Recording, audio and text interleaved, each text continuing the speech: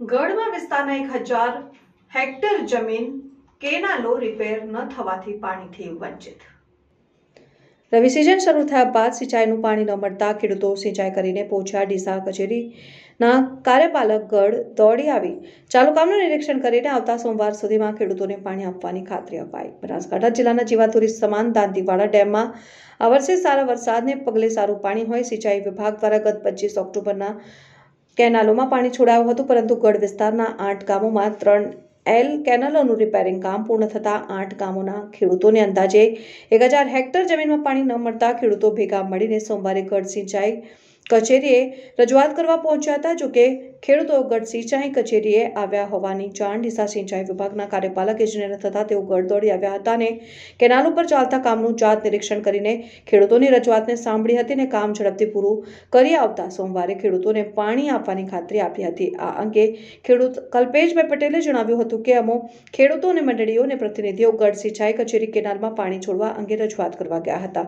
જ્યાંથી ડીસા સિંચાઈ કચેરીએ ફોન કરીને જાણ કરતા સિંચાઈ કાર્યપાલક ઇજનેર એસ આઈ પટેલ ગઢ દોડી આવીને ખેડૂતો સાથે ચાલતા કેનાલના કામોનું જાત નિરીક્ષણ કરીને આવતા સોમવાર સુધીમાં કેનાલોમાં પાણી આપવાની ખાતરી આપી હતી. અહીંયા ગઢ ડિવિઝનમાં અમે ગયા હતા, બધા ખેડૂતો ભેગા થઈને, ખેડૂતો મંડળીવાળા બધા સાથે મળીને ગયા હતા. તો ડી પટેલે એવું કીધું અમને કે પાણી કામ પૂરું થશે અઠવાડિયા દસ દિવસ પછી, અને એના પછી, અઠવાડિયા પછી પાણી મળશે તમને. એના પહેલાં પાણી મળે નહીં. અને પછી થોડી મગજમારી થઈ અને પછી એવી વાત થઈ લાસ્ટમાં કે તમારે કલેક્ટર જોડે જવું તો જો એમએલએ જોડે જવું હોય તો બી જો અને સીએમ ભાઈએ જવું હોય ને તો બી જો, પણ પાણી હમણાં તમને મળશે નહીં. બરાબર? પછી અમે એક્સચેન્જ સાહેબને ફોન કર્યો ડીસા ડિવિઝનમાં. એક્સચેન્જ સાહેબ પોતે એમ કીધું કે હું ત્યાં આવું છું, સ્થળ ઉપર સ્થળ નિરીક્ષણ કરી અને પછી તમને જે હોય હું ડિસિઝન આપું. તો પછી એક્સચેન્જ સાહેબ અહીંયા આવ્યા હતા અને એમને એમ કીધું કે અઠવાડિયા પછી તમને આવતા સોમવાર, મંગળવારે કામ પૂર્ણ કરી અને પાણી અમે આપીશું. એની જવાબદારી લીધી એમને. લડબી નદી ઉપર થ્રીયલ ડિસ્ટ્રિક્ટ પસાર થાય છે. એ જ સાયફન વર્ષો જૂનું હતું.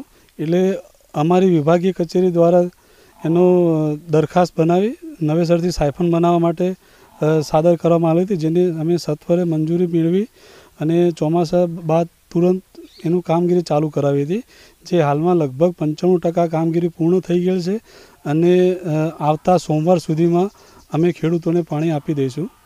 એટલે આ કામની અંદર નાકાઈ એના એના સુપરવાઇઝર અને ગુણવત્તા વિભાગ દ્વારા પણ એની સમયાંતરે વિઝિટ થતી હોય છે. એટલે એમાં એવું કોઈ અત્યારે હાલમાં જાણવા મળેલ નથી, પરંતુ જો એવું ક્યાંક ત્રુટિ રહી ગયેલ હશે તો એ પણ રિપેરિંગ સત્વરે પૂર્ણ કરી દેવામાં આવશે.